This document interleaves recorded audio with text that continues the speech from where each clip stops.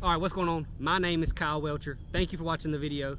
This is Kyle Welcher's daily not catch many big fish vlogs or whatever you want to call these things. But today we're talking about something extremely serious. That is skipping baits around docks.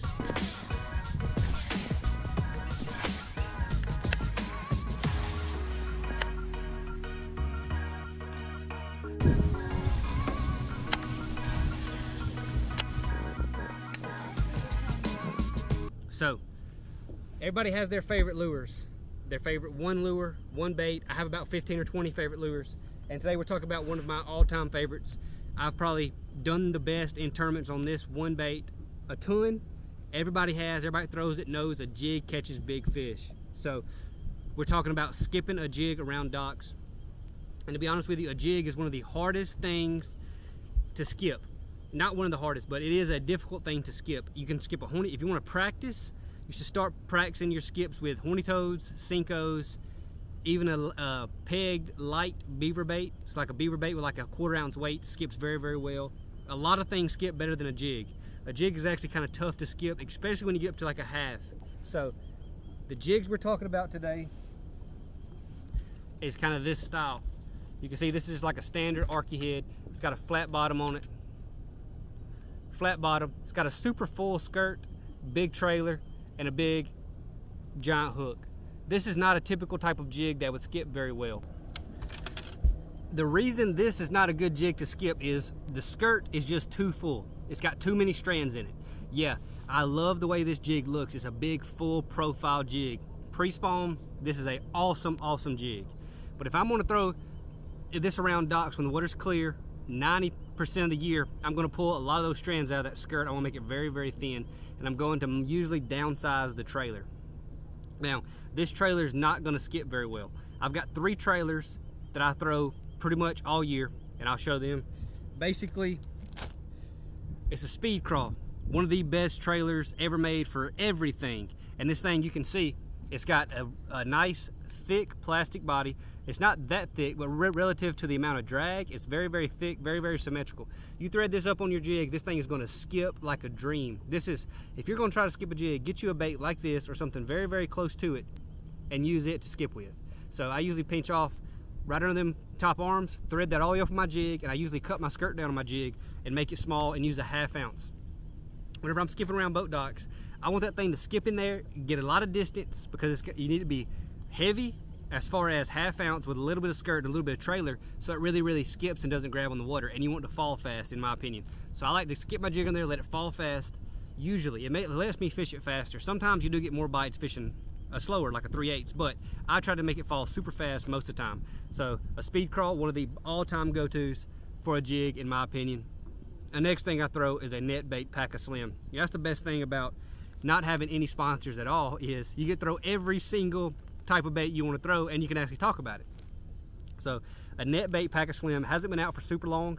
I think it's been out for maybe a couple years now, but this is a super good bait, especially in the pre-spawn.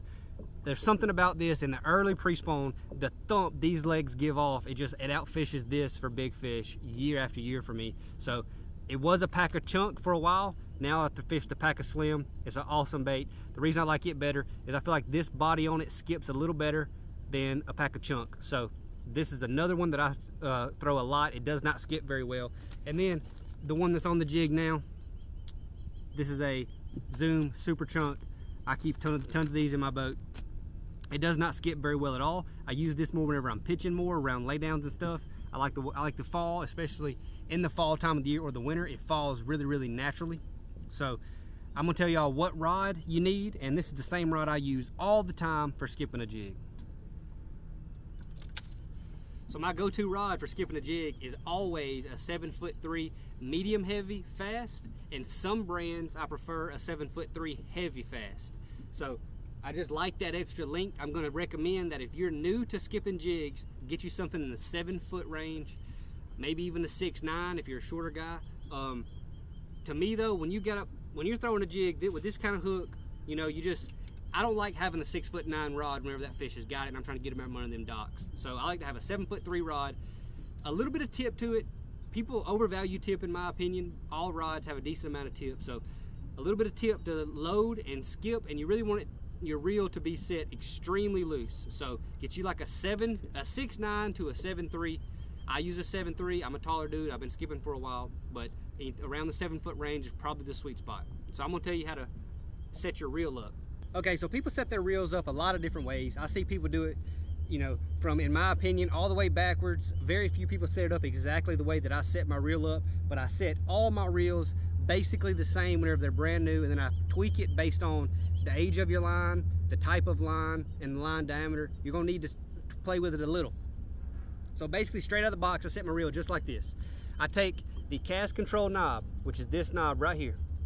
I back it all the way off until you can feel the spool come back and forth. So you see I already had this one set. So listen. Let me loosen it a little more. Can y'all hear that spool? You hear that spool knocking? So basically you want to get that spool to knocking and then tighten it down just to where that spool has no play left in it. So that's got a tad right there. That, I mean, you want it to be as lightly, as, as little bit of tension as possible to make that spool stop from knocking. So basically, all this cast control knob does is it applies straight tension onto the like drive shaft of the spool. So it just like tenses it down and that kills your cast in accuracy, distance, and efficiency. So basically, I take that to where it just stops knocking and I, I, almost would like to have just a tiny amount of knock in it, but not where you can hear it like at all. From there, open up this side plate. All Shimano's have centrifugal brake systems. That's why I only throw Shimano's. So you can see it's like this. I honestly didn't even check to see how this one was set. It is one down and three brakes on. So this reel is extremely, extremely used. So it is very, very, very broke in. I threw a frog on it for a while. This is not how you should set your reel because this one is gonna be a little bit freer than most. I would normally, out of the box, I would take your centrifugal brakes and put two down, two up. Down means the brakes are off, up means the brakes are on. And then set this dial on the side to about three.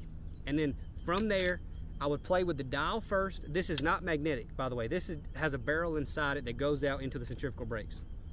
So I would play with this first. And if you have to move it any more than like four or five, I would take another brake and put another brake on. Or if you had to move it down to one, I would take a brake and take one off. So I would set this on three, and then I would two up, two down brakes, and then try to skip from there and tweak it a little as you go. So basically, that's how I skip.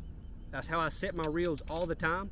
I'm about to go pick Hunter up and we're gonna go skip some docks, get some decent footage. Might catch one out from under a dock. The dock bite's not been very good, so it's probably not gonna happen. But basically, that's the setup you need for skipping docks. I'm gonna show you exactly what you need to do as far as fundamentals now. One of the most overlooked parts of skipping anything is boat position. I see people, they only want to talk about baits, rod, the reel, but boat positioning is what gives you the peace of mind to really have the confidence to let that bait go. And that's what it is. The biggest part, one of the biggest parts of skipping is having the confidence that your bait's going to go where you tell it to go so you never check up and second guess yourself.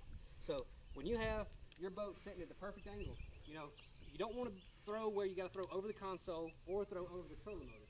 You want to be able to have your rod completely in open water. The only obstruction is going to be the surface of the water so your rod tip can get as low as possible. You can generate as much velocity as possible for skipping underneath that dock. So whenever you are not worried about the console of the trolling motor, that's one less thing to worry about. It gives you more confidence that your cast is going to come off correctly. So when you got the right thing, you know, you got free range of whatever you want your rod to do. And you just turn it loose, don't think about nothing else. Just look at your target and sling it underneath that dock. Okay, so as you can see, I have another dock right here. This one has a little bit less clearance. It's gonna be a little bit tougher to skip under, but it's the same exact thing.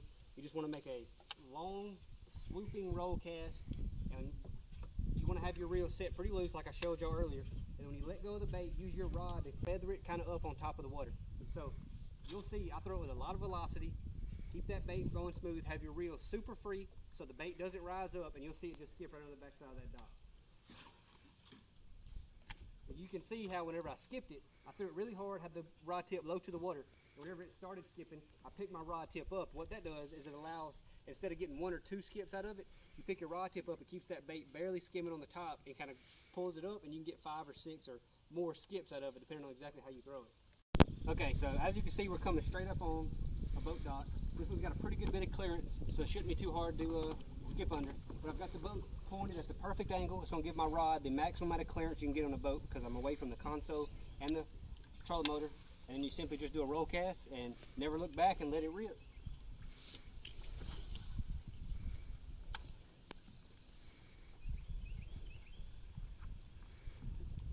And you can see the reason I went to the backside first is because I was anticipating having to move the boat out. So I went to the backside with the boat pointed there, and now that I moved the boat out, I open up with a perfect angle to go in the front side of the dock as well.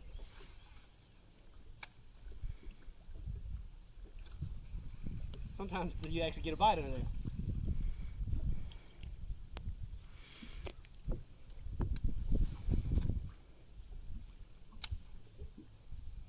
So I can make it go through the back two posts too. Ready?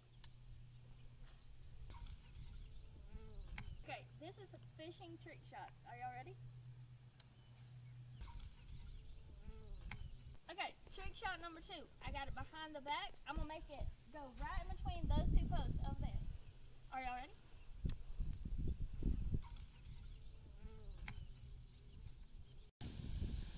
So basically, whenever you don't have the luxury of good boat position, sometimes when you're in between docks, you're just a little bit too tight, or you know you may not be under a dock, maybe pitching underhangs or something. When you got the console or the trolling motor in the way, I always resort to a pitch skip. So what I'm gonna do by that is I'm going to just make a quick, like a normal pitch, but I use a lot of velocity and a lot of accuracy. And you, you can't get the same distance you can with a roll cast skip, but you can still pitch it under there and get it pretty far back in the in whatever you're trying to get into. So right here I've got the console in the way, so I'm not going to try to roll cast. I could backhand it, but I'm going to just go ahead and pitch skip just for the sake of the video.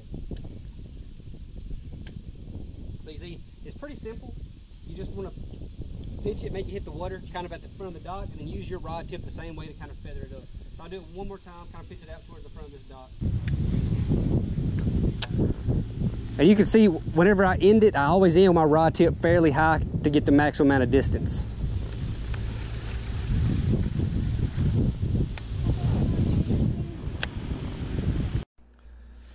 All right, so this was the most requested video probably that I've gotten since I started YouTube. And while I was trying to film this, I realized how bad of a teacher I actually am.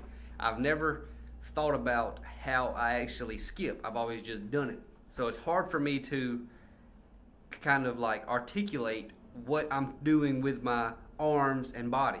So I was lost most of the time trying to figure out how to how to translate the message to y'all. But I'm definitely not a teacher. Anyways, hope the people that wanted to see something did. One thing I forgot was to tell what type of line I use.